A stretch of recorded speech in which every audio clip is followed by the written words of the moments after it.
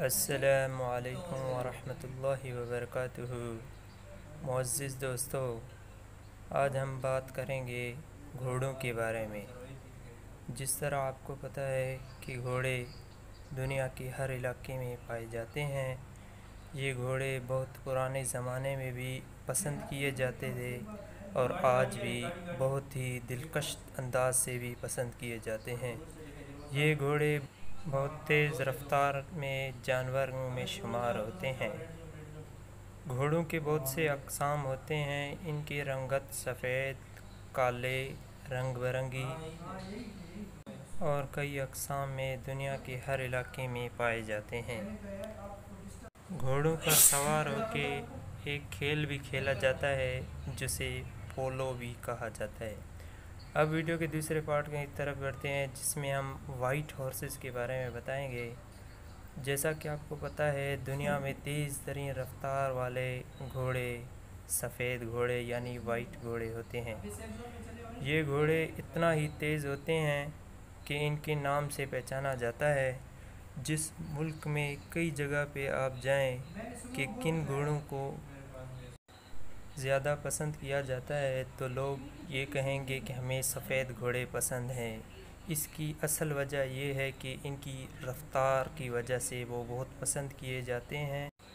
पुराने ज़माने में अरब लोग सफ़ेद घोड़ों का इस्तेमाल करते थे, चाहे बहुत बड़ी लंबी सफ़र हो या छोटी भी।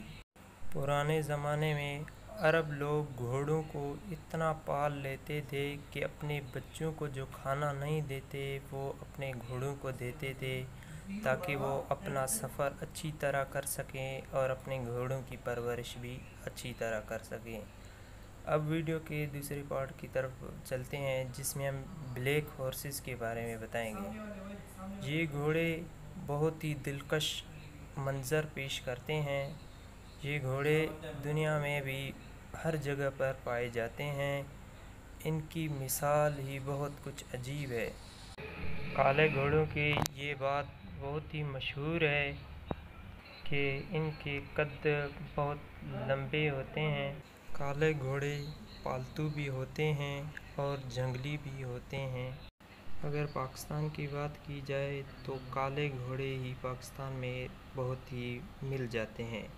अब वीडियो के और तरफ़ चलते हैं। अब एक नोबल घोड़े के बारे में बताएँगे, जो है पिंक हार्स, ये दुनिया में वाहिद अकेला ही एक हार्स है।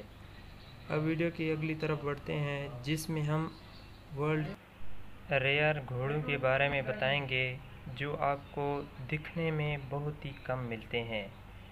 ये घोड़े नहायत ही खूबसूरत होते हैं।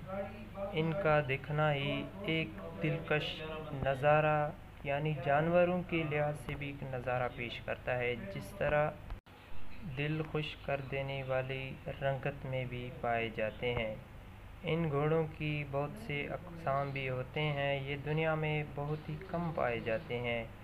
किसी का सर बड़ा तो किसी की टांगें बड़ी, किसके बाल बड़े तो किसी का पूछ बड़ा।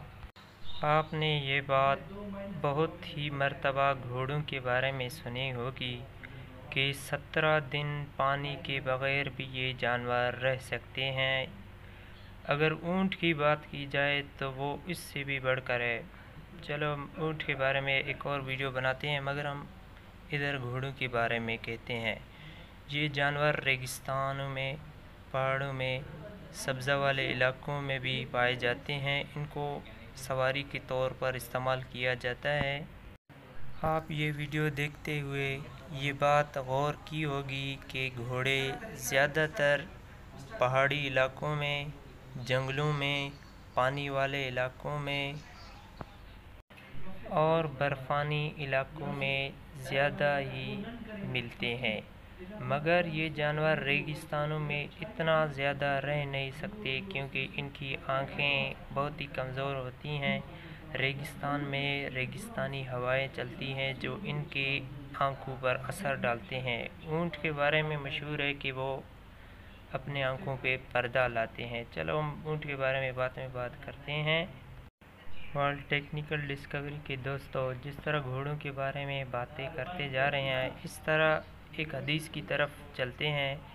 एक मरतबा हज़रत आयशा रज़ी अल्लाह अन्हा घोड़े के खिलौने खेल रहे थे कि अचानक हुजूर सल्लम वहाँ पहुँच गए। तो हुजूर सल्लम ने उनसे इरशाद फरमाया कि ये घोड़ों के साथ क्यों खेल रहे हो? जिनकी पर भी हैं, लेकिन घोड़ों के पर नहीं होते। तो हज़रत आयशा रज़ी अल्लाह अन्हा ने ये अर्ज़ किया कि क्या हज़रत सलेमान आसमाम के घोड़े के पर नहीं थे? इस बात से वाज पता चलता है कि हज़रत सलेमान आसमाम के घोड़े के पर भी थे। और ये बात अक्सर सुनने में आई है कि जन्नत के जो घोड़े होते हैं, उनके पर भी होते हैं।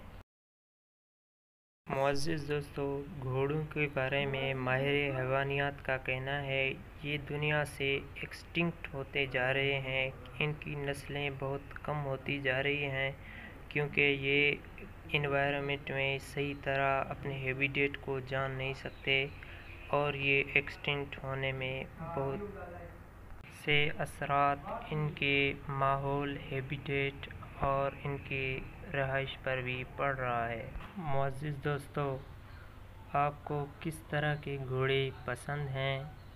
आप कमेंट में बता दें, और कौन सा घोड़ा सबसे अच्छा लगता है, और कौन से घोड़े जिनके बारे में इस वीडियो में कोई बयान नहीं है, वो भी मुझे कमेंट करके बता दें। इस जानवर यानी घोड़े को सवारी के तौर पर भी इस्तेमाल करते हैं। इस पर सामान लाद कर भी इसे तजारत में ले जाते हैं। पाकिस्तान के इलाके में ये बात बहुत मशहूर है कि पो, आपने पोलो गेम के बारे में सुना ही होगा। पाकिस्तान के सूबे के पीके में ये गेम बहुत ही मशहूर है कि ये गेम इनकी सदियों से खेला जा रहा है। वो दो पहाड़ों के दरमियान वादी है, उसमें ये गेम खेली जाती है। बाकी लोग पहाड़ पर चढ़ के इस गेम का तमाशाई बनते हैं।